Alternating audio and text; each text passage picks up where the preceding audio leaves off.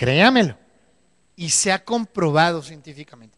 Y aquí tengo un doctor en psicología, ya tengo una doctora en psicoterapia, y allá otra, en fin.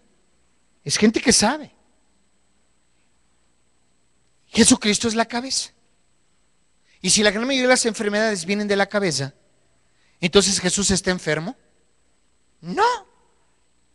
Nosotros tenemos como cuerpo de iglesia un cerebro sano, una cabeza sana. No está enfermo Jesús. ¿De acuerdo? Él no se cree las babosadas que le dice Satanás. Usted sí. Ajá. Él no se las cree. Entonces, ¿en dónde radica el problema del que no se vean muchas señales y muchas maravillas? En el cuerpo. El cuerpo es el que está enfermo. ¿Sí? ¿Y cuál es su problema? Que no camine en unidad. Y aquí está diciendo el Señor algo muy interesante. Si regresamos a Hechos, por favor.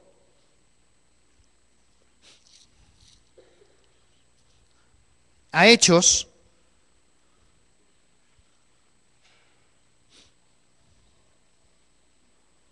Versículo 44. ¿Ya está usted ahí? Todos los que habían creído, versículo 44, todos los que habían creído estaban qué? Juntos. ¿Quién de aquí ha creído en Jesús como su Señor y Salvador? Ok, levante, eh, levante su mano. Quiero ver al que no ha recibido a Jesús como su Señor y Salvador. ¿No? ¿No lo ha recibido como Jesús? Hermana. ¿Se acuerdan? A ver, ponga su mano en el mentón.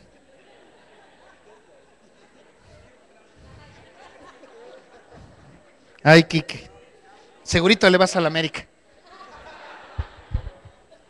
Ok. Dice todos los que tienen a Jesús en su corazón, estaban qué? Juntos. Juntos. El secreto está en el que mucho de lo que tú has querido hacer no lo has podido lograr porque no estamos juntos. Créemelo. Sabe, yo estoy emocionado más que los que lo, que, los que lo están haciendo.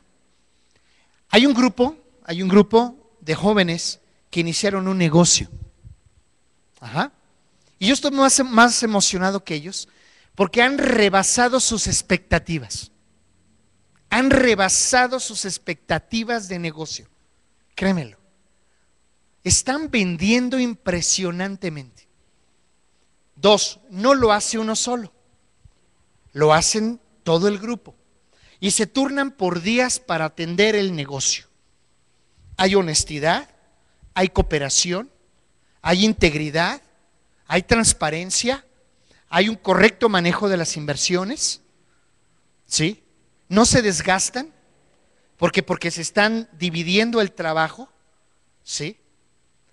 Y Dios los está bendiciendo impresionantemente. ¿Y todo por qué? Y tal vez ellos ni se dieron cuenta, ¿sí?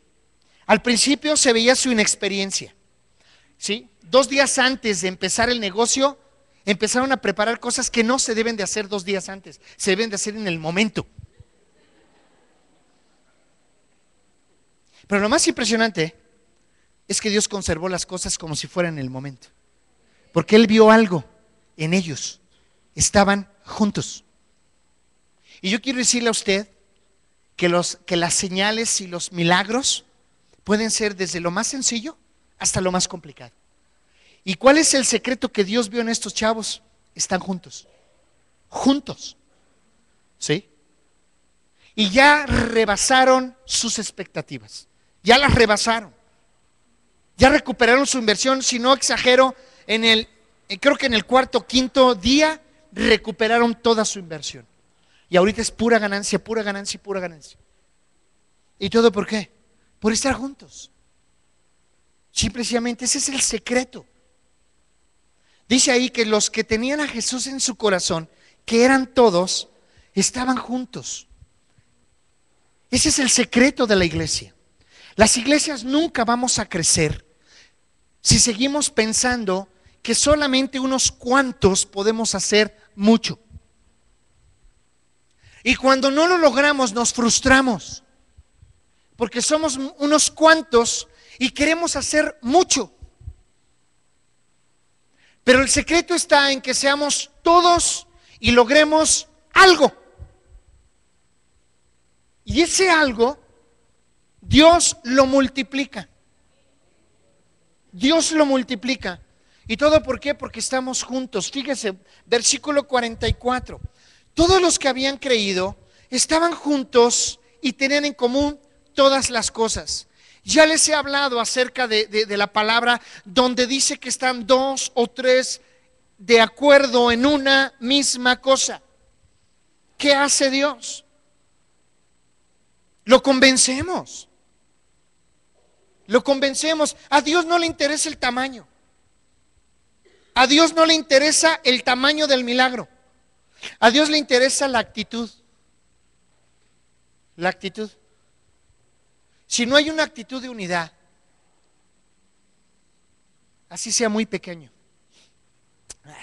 que el diablo te dé eso, porque él también bendice.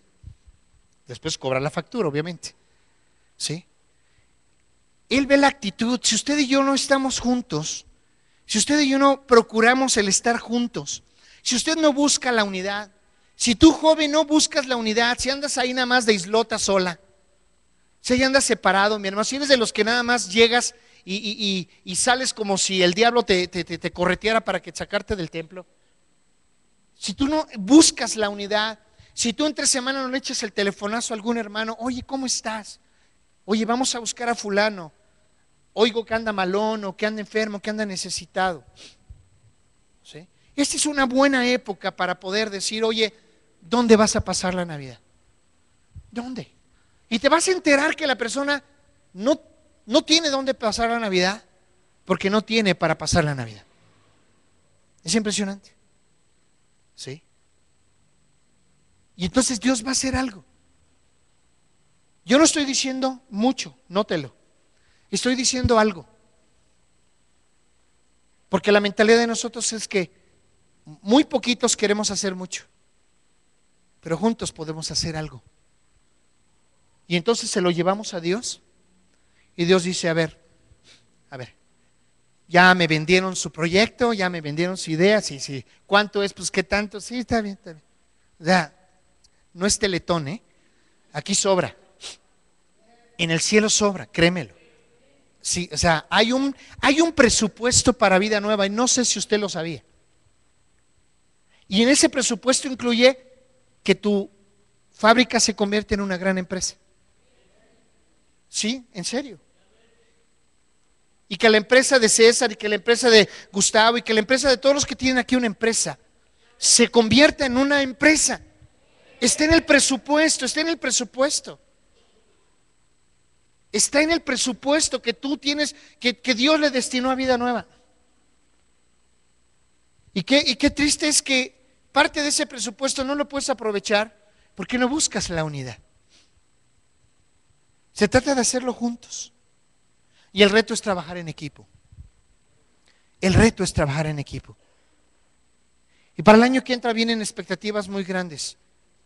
Nosotros tenemos expectativas para ti muy grandes. Dios tiene expectativas muy grandes para ti.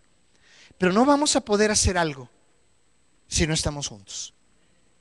Necesitamos estar juntos y necesitamos contaminar a los demás de estar juntos.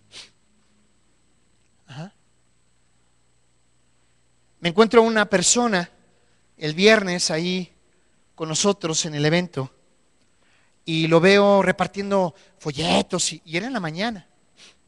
Y se, me, y se me queda viendo, ¿no? Yo diría que se le apareció un ángel, ¿no?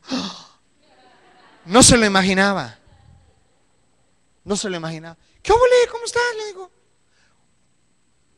¿Qué milagro?